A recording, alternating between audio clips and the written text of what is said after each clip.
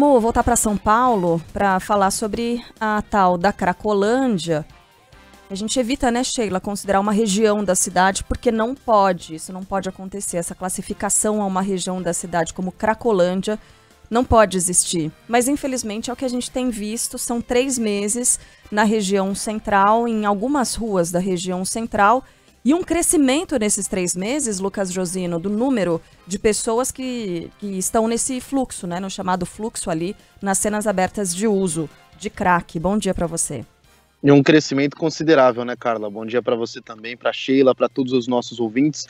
Quase 40% nesses três meses. O governo do estado e a prefeitura divulgam sempre o número de dependentes químicos que faz parte do chamado fluxo, né, o grupo de usuários de crack na região central da cidade de São Paulo esse número no mês de maio era de aproximadamente 800 pessoas e agora subiu para 1.100. Para ser exato, 38% de crescimento nesse período.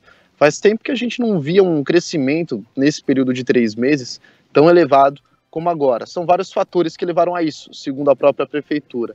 É, número de traficantes que cresceu consideravelmente também nesse período e muitos confrontos com a polícia militar, muitos muita troca de ruas, né? Os dependentes químicos estão se movendo de um lugar para o outro. Isso também facilitou que os grupos se unissem e ficassem juntos. Então, são 1.100 dependentes na região da Cracolândia, é um número alto, né? Esse número varia durante o dia, durante a noite. Geralmente, no fim de semana, tem mais gente, pessoas que saem de outros pontos e vão para a Cracolândia. Isso é bastante normal também, então cresce esse número de 1.100, mas essa é uma média nos dias e nas noites é, durante as últimas semanas aqui na cidade de São Paulo. A prefeitura nos disse que quer ampliar o número de vagas para atendimentos médicos para essas pessoas e também expandir os programas sociais de assistência para tentar salvar mais gente desse fundo do poço que é a Cracolândia. Carla e Sheila.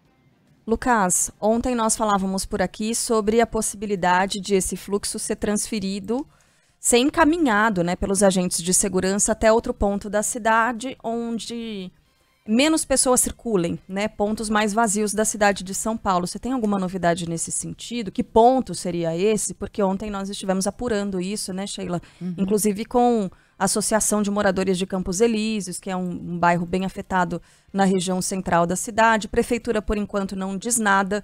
Você tem alguma novidade nesse sentido? Esse, esse endereço ainda é tratado com bastante é, muito embaixo dos panos, né, Carla? Tem muito sigilo nesse endereço, mas hoje vai ter uma, uma reunião, mais uma, do Comitê de Segurança e também de Saúde da cidade de São Paulo, que envolve várias secretarias, eles tratam sobre a Cracolândia, e nessa reunião, pelo que eu apurei, eles vão definir qual vai ser o endereço. Claro que eu vou tentar arrancar das fontes, né, as mais certas possíveis, qual vai ser esse novo local da Cracolândia, mas estou apurando sim. A prefeitura, é, nos microfones, é, quando o microfone está ligado, quando a gente diz, né, diz, afirma que não quer mudar o fluxo de lugar, que quem na verdade sai de um canto para o outro são os próprios dependentes químicos que têm vida própria, mas pelo que a gente apurou, eles têm uma intenção de colocar os dependentes químicos em outro lugar sim.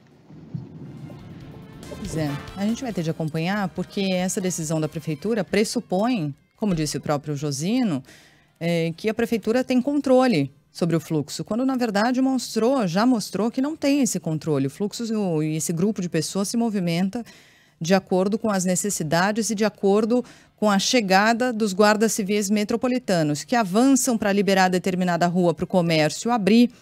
Aí eles saem de lá, vão para um outro lugar, os guardas civis vão para esse outro lugar, eles avançam, saem de lá, vão para outro, e as concentrações vão mudando um pouco de lugar é, mas tudo ali na região central de São Paulo. O fluxo, como disse o Josino, tem vida própria, né? Como é que será esse controle e realocar isso numa parte da cidade? E qual parte é essa do centro de São Paulo? Uma parte do centro em que não há comércio funcionando e pessoas circulando é muito difícil de você encontrar. E qual é a exata intenção da prefeitura ao fazer isso? Abordagens mais dirigidas, mais direcionadas a esse grupo aglomerado? Diferentemente do que fazia antes, porque a estratégia anterior era do espalhamento. A prefeitura espalhou a Cracolândia por diferentes pontos porque entendeu que assim a abordagem seria mais fácil em grupos menores. Agora, nos parece ser algo que vai na contramão, de aglomerar tudo de novo para fazer abordagem a esses usuários de drogas e então conseguir direcioná-los para um tratamento. A gente vai ter de acompanhar, quem sabe hoje ainda é, teremos a divulgação de qual lugar vai ser esse. O né? Estevam, nosso ouvinte, bem rapidinho, viu, Josino, do Rio de Janeiro, ele diz: olha, parece ser algo óbvio, porque é que, em vez de combater os usuários de crack, não se combate o tráfico de drogas nessa região. É uhum. algo que, né, óbvio, que a gente sabe que deveria ser feito, mas por que será que não acontece, né? Enfim, fica a dúvida aqui. Lucas, bom trabalho para você. Até mais. Obrigado para vocês também. Uma ótima terça. Valeu, Josino.